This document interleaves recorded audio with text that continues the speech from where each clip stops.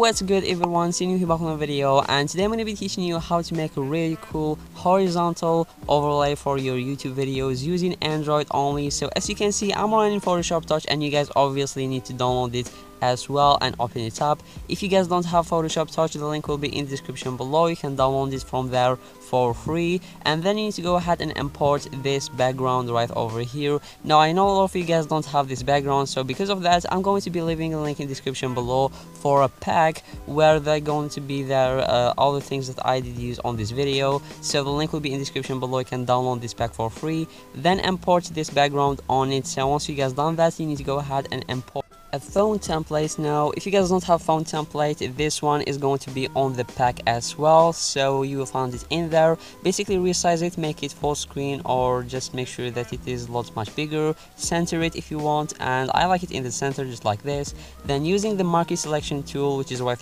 over here you need to go ahead and select the screen of this phone just like that. So this will do it. And once you guys done that remember to just go ahead and merge down the top layer with the, the background that we created in the beginning of this tutorial then go ahead and clear this selection so at the end you will be having something like this and we are pretty much done with the project before we move on to the video editor part, I just would like to mention for you guys when you are going to save the photo, just go ahead and make sure that the format is set to PNG, not JPNG. Make sure that it is PNG just like this.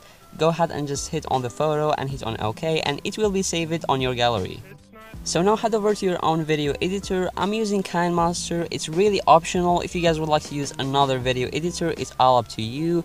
But if you guys would like to download this video editor that I'm using right now, the link will be in the description below. You can download it from Google Play Store. It is a free video editor and then import on it wherever thing you want. Say you want to up uh, or you want to just activate the uh, horizontal background on this gaming uh, footage all you have to do is you're gonna go ahead and hit on this layer tab and hit on this image layer. Then go ahead to the Adobe Photoshop Touch uh, folder which have to be right here and then go ahead and select the image or the project that, it, that we was working on.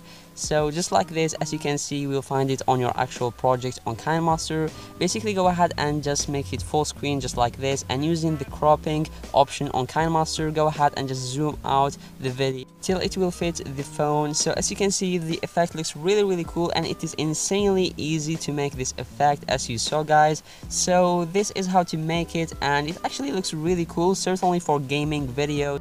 And I do suggest you use it because it avoids a lot of copyright uh, issues. So yeah guys and before I end up this video I just would like to say I'm really sorry for the lack of videos these days.